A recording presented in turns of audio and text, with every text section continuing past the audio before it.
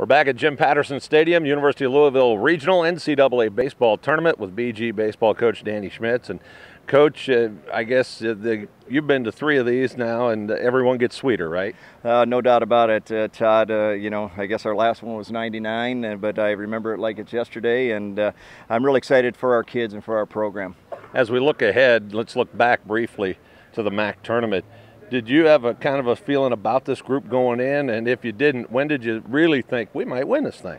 Well, uh, I'll tell you what, uh, you know, that uh, first game of the tournament kind of started out like the last game of the regular season where we knew we had to, had to win that thing, but we fell behind early four to nothing. And, you know, we called the troops together after the fourth inning of game one there at the tournament. And, you know, I just kind of reminded them, I asked them what the score was, you know, at Buff- against Buffalo, and they told me. And, uh, you know, what did we uh, do from there? And, you know, they said we had to grind out at bats and get to score some runs. And Ethan McKinney would put zeros up on the board. That's exactly what happened. And eventually we uh, found a way to win that game in 11 innings, and then you could just see the confidence grow, and it, it kind of carried throughout the remainder of the tournament.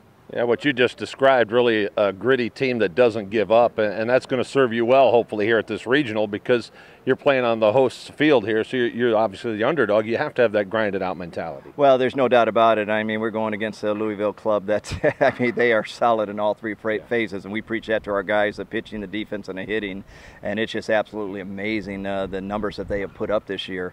Um, you know, and actually, Adam Engel is uh, a young man that has 40 stolen bases. Right. Well, Adam actually has more stolen bases himself than we do as a team. You know, and that doesn't count the other guys on the on the team. So, you know, obviously, us trying to control the running game as much as we can is going to be a, a huge factor for us. Also, Louisville seems to be built on speed, pitching, and defense. As you've been able to look at this club, uh, defensively, are they very, very good too? Oh, no doubt about that. Yeah, I mean they're they're fielding nine field, fielding over 970 and everything, and like I said, their uh, team ERAs like a 293, and you know team batting average is just a little bit below 300, and, and like I said, then the pressure they put on you with all the stolen bases, it's going to be a great challenge for us. But we are excited about being here, and uh, you know I thought today was a good workout, and hopefully that'll carry over.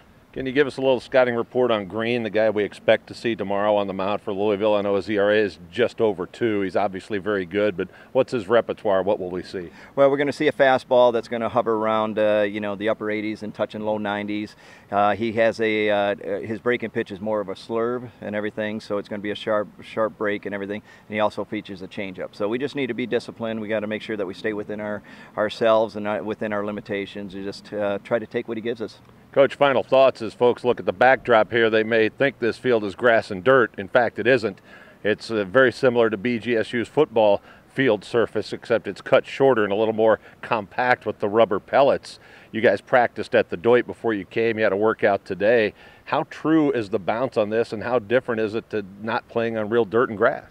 Well, I'll tell you what, uh, we were fortunate uh, over at Avon Lake there for the conference tournament. Mm-hmm. That was all turf over there too. So uh, when the uh, the selection show uh, said that we were going to Louisville, we knew we were going to come play on the on the field turf again. So I think that's fine with our guys and everything. And you're you're right, Todd, with having uh, Doyt Perry Stadium field turf. we got out there a couple of times, so hopefully we'll feel comfortable tomorrow. And you know, there's there shouldn't be too many bad hops on field turf. So. Well, Coach, your team's on a roll. Hopefully, it will continue tomorrow against the host Louisville Cardinals. Thanks for being with us and good luck. Well, thanks, Todd. And uh, like I said, we're looking forward to it and uh, looking forward to seeing all our fans in the stands tomorrow night.